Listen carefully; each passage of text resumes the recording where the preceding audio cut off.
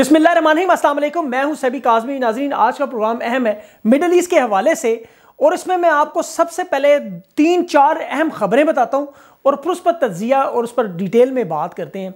सबसे पहली खबर यह है कि वाशिंगटन से सऊदी अरब के जो क्राउन प्रिंस हैं मोहम्मद बिन सलमान, उनके छोटे भाई, जो कि डिप्टी डिफेंस मिनिस्टर भी हैं, उन्होंने एक खुफिया दौरा किया।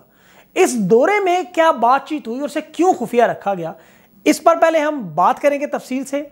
दूसरी अहम खबर यह कि सऊदी अरब और अरब अमारात, यूएई, इनके दरमियान शदीद तरीन इख्तलाफात आ गए हैं सामने। ओपेक की मीटिंग में खुलकर दोनों आगे सामने।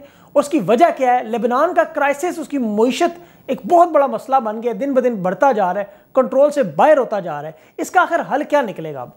और आखिर में मैं आपको बगराम अड्डे की कहानी, जो शायद आपने सुनी नहीं होगी या बल्कि बगराम अड्डे से शुरू करते हैं। देखिए, ये बगराम एयरफील्ड अमेरिका की जानब से सर्द जंग के दौरान अफगान इतिहादियों ने 1950 में बनाया था। अब आपको पता है, रूस यहाँ से निकल गया था उन्नीस में हमले के बाद। उन्होंने लेकिन इसको जाने से पहले बड़ा कर दिया, बहुत बड़ा। एक इसका इसका रकबा आप कर लें, पिंडी इस्लामाबाद, लाहौर मिला लें। दो एयरपोर्ट्स के अंदर आते हैं अब अंदाज़ा कर लें कि सौ त्यारे खड़े इसके अंदर आराम से, इतना बड़ा बना दिया उन्होंने और अफगान जंग जब अरूज पर थी तो यहाँ पर एक लाख बीस हज़ार से ज़्यादा अमरीकी फौजी भी मौजूद रहे। फिर ग्यारह हुआ सितंबर का, जो उसके बाद इस अड्डे का कंट्रोल अमेरिका ने भी संभाल लिया और तहादी भी आ गए यहाँ पर। और फिर इन्होंने यहाँ से अपना कार्रवाई का आगाज़ शुरू किया। अब ज़रा अड्डा आप समझ गए। अब इस अड्डे के अंदर फौजी हकाम अमरीकी फ़ौज के दो दिन पहले 20 साल तक यहाँ रहने के बाद इन्होंने रात को लोड शेडिंग की तरह, जिस तरह आपकी जाती है ना, बत्ती, तारीखी में बत्ती बंद की और अफगान कमांडरों को बताए बिना उन्होंने लिटरली नौ दो ग्यारह हुए। और अमरीकी फ़ौज के जाने के घंटों के बाद पता चला, वहाँ जो अफगान लोग थे कि अमरीकी फ़ौज खड़क गया। वो भी कैसे? कि लोगों ने लूट मार शुरू कर दी, उनकी चीज़ें उठा ली। अब आप देखें, काबल एयरपोर्ट पर अमरीकियों ने पहुँच कर ने फ़ोन किया कि हम यहाँ पर आ गए हैं। और अच्छा वहाँ पर जो पाँच हज़ार इन्होंने वहाँ पे कैदी भी रखे हुए थे इस बगराम अड्डे पर खाली नहीं था, इसके अंदर कैदी भी थे। वो बेचारे भी परेशान कि अब किनको रखे कौन? जनरल कोस्तानी जो थे वहाँ, और अफगानी कोस्तानी लोग थे, वो परेशान, सिपाही मतलब उन्होंने कहा, यार मतलब ये हमारी इनके बीस इक्कीस साल की यारी दोस्ती बन गई है, हम ब्रदर बन चुके हैं। ये इन्होंने मरसद किया क्या यार? इन्होंने हमें बताना, गवारा नहीं किया। मतलब लिटरली यार फर्की मार के ना, इतना बड़ा लेवल का। मतलब देखें, आप उनकी इतनी 40 लाख से ज़्यादा वहाँ पर अशिया पड़ी थी, जो कि अब आपको नज़र आ रही होंगे बिकती हुई मार्केट्स में। और वे बिकेंगी किस तरह, वो भी आपको पता हो। सकता है पाकिस्तान पिशावर में बिके अब कुछ। बीस साल की, जिसमें कहते थे हम इनका दिल, इनका दिमाग जीत रहे हैं, बुश की तकरीरें सुने। निकले कैसे? इनका निकलना जो था ना, यकीन जाने, ये एक पूरी कहानी, इस पर एक फ़िल्म बननी चाहिए। इस माइंड सेट को समझने की कोशिश करें। और यही वो माइंड सेट है कि इस माइंड सेट की वजह से फतह और शिकस्त को आप साइड में कर दें। फौजी एतबार से इस तरह का भागना देखें, आपके यहाँ पर अरबों डॉलर जिन्होंने, मेरा एक मोहताद अंदाज़ा सत्तर अरब डॉलर से ज़्यादा उन्होंने यहाँ पर खर्चा किया हुआ है। और फिर इनका इंटरेस्ट भी था। अब इन्होंने पिछले कई हफ्तों से मुसलसल आपको पता है, मीडिया में नज़र आ रहा है कि अब चाइना यहाँ पर अगला एक नज़र आ रहा है। हर अखबार में लिखा हुआ जो अखबार उठाए, मैं चौदह अखबारें पढ़ता हूँ, चौदह की चौदह अखबारों में नज़र आ रहा है कि अब चीनियों और तालब इलमों के दरमियान जो है, अब इनकी मोहब्बतें बढ़ेंगी। अब वो छोड़ के चले गए।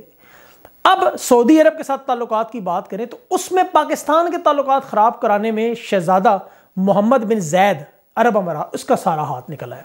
सामने आ गई ये बात भी खालिद बिन सलमान, जो आपको पता है क्राउन प्रिंस है, छोटा भाई, उसके डिप्टी डिफेंस मिनिस्टर भी हाई लेवल का अमेरिका का दौरा किया और वहाँ पर बाइडन से इसकी शिकायतें लगाई। पूरी असल तफसील आपको मैं बताता हूँ, उसमें क्या हुआ? आपको जमाल खुशोगी वो तुर्की सहाफ़ी का केस याद है, उसमें क्या हुआ था? अच्छा उसमें इस छोटे शहजादे का नाम भी आया हुआ से इसके सबसे पहले आप ट्रंप की और मोहम्मद बिन सलमान की दोस्ती याद रखें, और ये दोस्ती करवाने वाला बंदा शहजादा मोहम्मद बिन जैद था। अब उसके अमेरिका के साथ ताल्लुक बहुत ख़राब है, क्योंकि ट्रंप का वो जिगरी यार था। अब बाइडन के साथ तो बनती नहीं। अमेरिका ने यह मुलाकात बार पब्लिक नहीं की इस शहजादे की, छोटे शहजादे की। क्यों?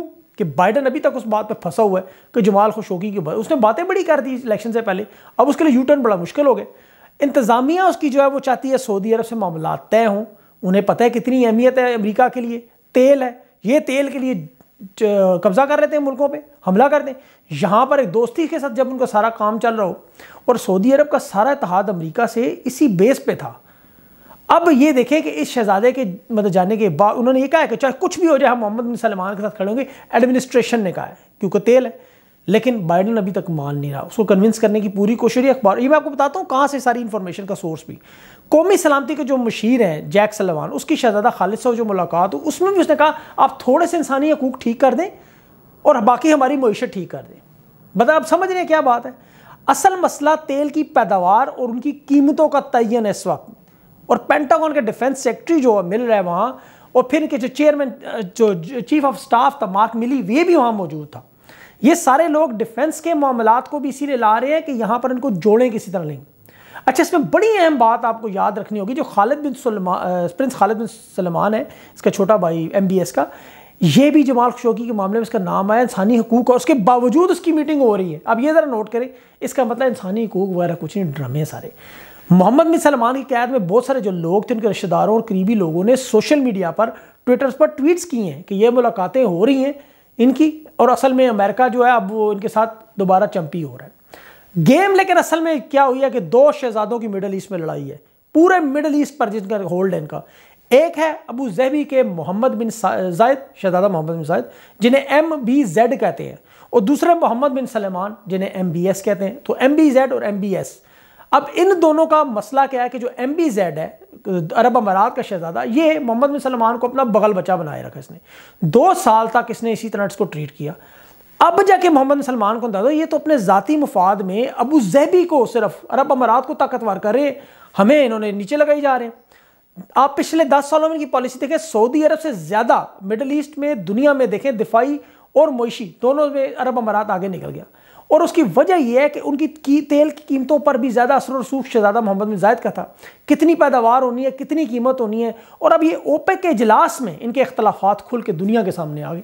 उसकी मीटिंग हुई है। 2019 में से मामला ख़राब होना शुरू हो गए थे। उसकी वजह अरब अमारात ने देखे, इन्हें मोहम्मद बिन सलमान को, सऊदिया को, इस्लाम मुखालिफ policy, Muslim Brotherhood, civil society, इनकी जो कुराबदारियाँ थी, आपस में बढ़नी थी, इनके ये जो इसी ने कहा था, सऊदी अरब में आप रिफॉर्म्स करें। जैसे वो वोट का हक ड्राइविंग का नाइट क्लब खोलने का, उसने कहा, आप सऊदी अरब को यार एक मॉडर्न टूरिज़म स्पॉट बनाएँ, क्योंकि वो जलते हैं हर महीने शरीफैन, इनके पास क्यों है? ये मोहम्मद बिन जायद, आपस में लगती है। आपको मुगल शहजादों की स्टोरियाँ याद होंगी। कितना कितना एक दूसरे को भाइयों के साथ क्या करते रहे। मोहम्मद बिन जायद को जिस चीज़ ने जेलस किया, वो मोहम्मद बिन सलमान की पावर थी, अरमैन शरीफैन की की वजह से आपको पता है, सऊदी अरब का एक मकाम है। इसीलिए इनके जो पहले इकट्ठे शिकार पे जाया करते थे, एक दूसरे की रियासतों के दौरे करते थे, लंबी लंबी फ़ोन कॉलें करते थे, ये सारे मामला होते। लेकिन इनको जोड़ने में जिस शख्स ने अहम किरदार अदा किया तो वो था डोनाल्ड ट्रंप जब डोनाल्ड ट्रंप 2016 में इलेक्शन जीता तो शहजादा मोहम्मद बिन जायद जो दुबई और अरब अमारात का अबूजैबी का, उसने पूरी टीम के साथ सबसे पहले न्यूयॉर्क में जाकर मुबारक दी और वहाँ पर लॉबिंग की, बाकायदा लॉबिंग की कि अगला सऊदी अरब का बादशाह मोहम्मद बिन सलमान को होना चाहिए। बड़ा अरसा लॉबिंग करते रहे और फिर ट्रंप की मोहम्मद बिन सलमान से यारी चार कदम आगे बढ़ गई। वो आपको सारी तस्वीरें, इनके सारे प्रोजेक्ट सबको याद होगा। मोहम्मद बिन सलमान जितना मर्ज़ी तेज़ बने, लेकिन अपनी एज की वजह से शहजादा मोहम्मद बिन जायद के आगे आ गया। उसके बगल बच्चा बन गया। अब अरब अमारात को लग रहा है कि सऊदी अरब की वजह से उनका इमेज ख़राब हो रहा है। तीन बड़े मामला हैं। उन्हें लगा कि इन मामला की वजह से मोहम्मद बिन सलमान ख़राब। एक तो रूस और लिबिया की जो कराबतदारी वहाँ पर लिबिया में हुई। दूसरा यमन के मामले पर यह सऊदी अरब का जो किरदार था और फिर चीन के साथ सऊदी अरब के बढ़ते हुए ताल्लुक इस वजह से अरब अमारात ने सऊदी अरब को इस यमन की जंग में धक्का भी इन्होंने मारा। सऊदी अरब कभी भी नहीं चाहता था वहाँ लड़े। इनकी एक लड़ाई चाहते ही नहीं थे। इसने पंप मारे। मोहम्मद बिन सलमान अपने करीबी मशीरों से बात कह चुके हैं। इसीलिए सऊदी अरब को सारा जंग का खर्चा भी खुद उठाना पड़ा। इन्होंने वहाँ से भी हाथ खींच लिया। अब दुनिया में जब तेल की एक्सपोर्ट करने वाले ममालिक हैं, आपको पता उनकी पूरी ऑर्गेनाइजेशन ओपेक है, वहाँ पे ये दोनों सामने आए, कीमतों पे तयन की बात हुई, पैदावार की बात हुई, खुल के सामने आ गए। कतर के मामले पर भी मोहम्मद बिन सलमान ने इनको मतलब कहा कि जी आप करें। वो कतर के साथ ताल्लुक ख़राब नहीं करना चाहता था, मोहम्मद बिन सलमान। अब लेकिन उसे होश आ गया, उसे नज़र आ गया। अब उसे पता चल गया, अपनी गलतियाँ सुधारनी है। और जिन जिन के साथ ताल्लुक ख़राब थे देखें कतर के साथ ताल्लुक ख़राब थे, सऊदी अरब ने इनको पीछे करके कतर से ताल्लुक बेहतर किए चीन के साथ ताल्लुक वो बेहतर कर सबसे बढ़कर पाकिस्तान के साथ ताल्लुक इनके बेहतर हुए। ये अरब अमारात का जो शहजादा है, इसकी सारी इंडिया के साथ दोस्ती है। और सऊदी अरब और पाकिस्तान के ख़राब ताल्लुक में ये शहजादा मोहम्मद बिन जायद का बहुत बड़ा हाथ था। इन्होंने ही वो आपको दिए मोदी साहब को तस्वीरें, वो याद होंगी बड़े बड़े अवार्ड। सऊदी अरब दोबारा अपने दोस्तों की तरफ़, पाकिस्तान की तरफ़ वापस आएगा। ये मेरी याद रखें बात। चार शरिया पाँच अरब डॉलर की। आप देखें रिफाइनरी के प्रोजेक्ट शुरू हुए। मोहम्मद बिन सलमान एक यंग था, यंगस्टर टीन एजर की तरह सोच के मोहम्मद बिन जायद के पीछे चल पड़ा। लेकिन अब होश आइए अपने पराए का फ़र्क समझ आ चुका है। और अच्छा ये मैं आपको एक इंटरेस्ट लोग कहेंगे, यार, आप इस तरह की बातें ये सोर्स के लिए मैं आपको पहले अलजजीरा पढ़ें आप। वाशिंगटन पोस्ट पढ़ें।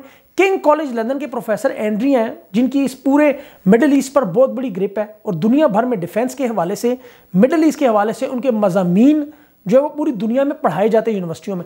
अब इन चार रेफरेंसेस को डिटेल से पढ़ें, अंग्रेज़ी में।